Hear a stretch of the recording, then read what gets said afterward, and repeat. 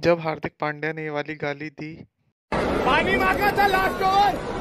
तो उसको लेके उनके फ़ैन बहुत ज़्यादा निराश हो रहे हैं कि भाई सूर्य कुमार यादव को गाली दी हार्दिक पांड्या ने पानी लाने के लिए। हार्दिक पांड्या ने बताया कि उन्होंने सूर्य कुमार यादव को गाली नहीं दी थी उन्होंने किसी और को गाली दी थी। और एक गाली आपस में चलती रहती है टीममेट के अंदर तो कोई बड़ी बात नहीं है लेकिन वो कैमरे में सुनाई देगी इसलिए आप लोगों को बड़ी बात लग रही है। टीम वीम में सब चलता रहता है आपस में जो जितने भी टीम मेंबर्स हैं वो एक, दूसरे को गाली देते रहते हैं तो ये कोई बड़ी बात नहीं है। तो स्टंप के ऑडियो से सुनाई दे गई गाली जिसको लेके बवाल मच रहा बहुत से लोग परेशान हो रहे हैं कि भाई हार्दिक पांड्या ने गाली दे दी नाराज़ हो रहे हैं उनसे। पांडे का यह बयान आया कि भाई उन्होंने सूर्य कुमार यादव को गाली नहीं दी थी, उन्होंने वैसी गाली दी थी पानी लाने के लिए और उनका इंटेंशन कोई गलत नहीं था।